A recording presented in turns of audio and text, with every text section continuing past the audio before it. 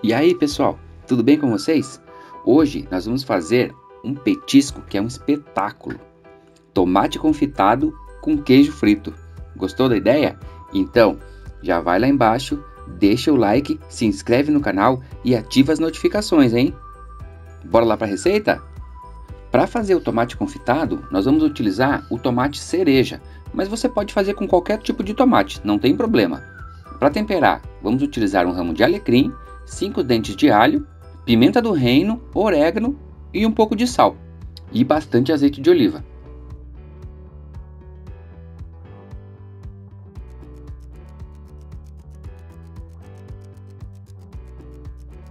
E é muito simples, pessoal. É só colocar todos os ingredientes em um recipiente que possa ir ao forno e levar para um forno pré-aquecido até os tomates murcharem. A temperatura do forno não pode passar de 120 graus, hein? Isso é muito importante. Para fazer o queijo, eu vou utilizar duas colheres de farinha de trigo, a mesma medida de fubá, um ovo e é óbvio um pedaço de queijo. Aqui eu estou utilizando o queijo provolone, mas você pode fazer com outro tipo também.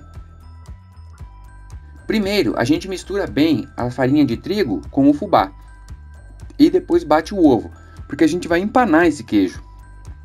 Ah, esqueci. Aqui, para finalizar, a gente vai empanar com sucrilhos. Tem que ser o sucrilhos natural.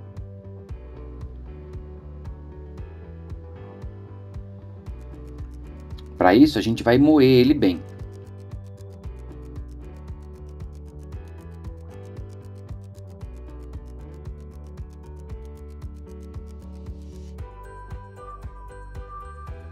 A gente deixa ele tipo um flocão.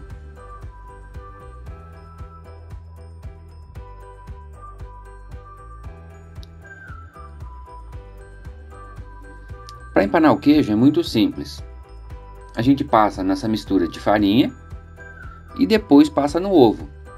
Esse processo a gente vai repetir por duas ou três vezes.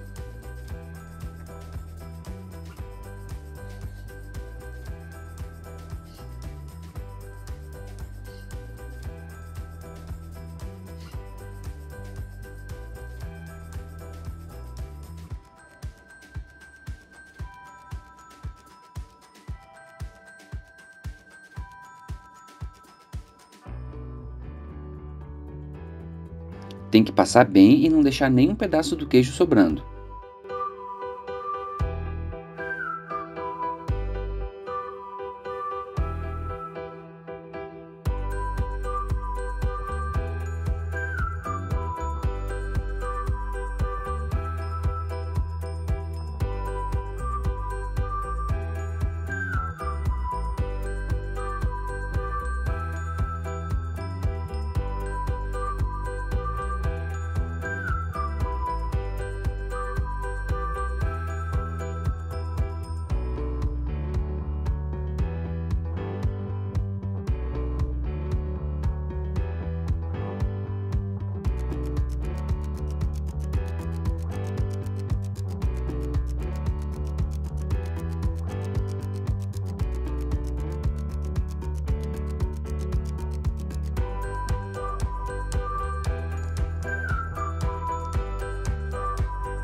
E aí, na última vez, a gente vai finalizar com aquele cereal.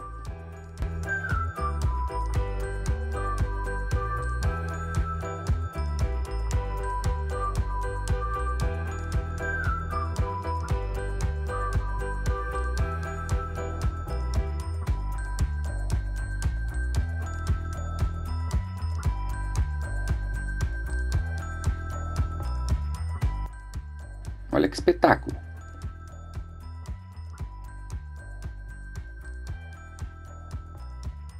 Coloca um fiozinho de óleo em uma frigideira e vai ligar no fogo baixo.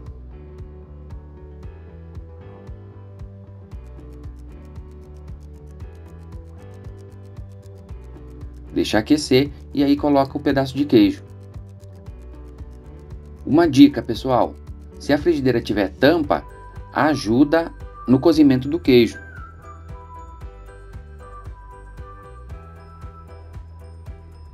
Enquanto o queijo cozinha, e o tomate está confitando no forno, eu coloquei um pão francês com um pouquinho de manteiga em uma sanduicheira para ele dourar um pouquinho. Com o queijo já frito e o tomate já confitado, é só retirar, colocar um recipiente e servir. Viram como é simples? Para fazer a montagem, você corta o queijo, pega um pedacinho do nosso pão, aqui foi o pão francês que eu cortei em fatias, e coloca um tomatinho em cima. Fica um espetáculo, pessoal.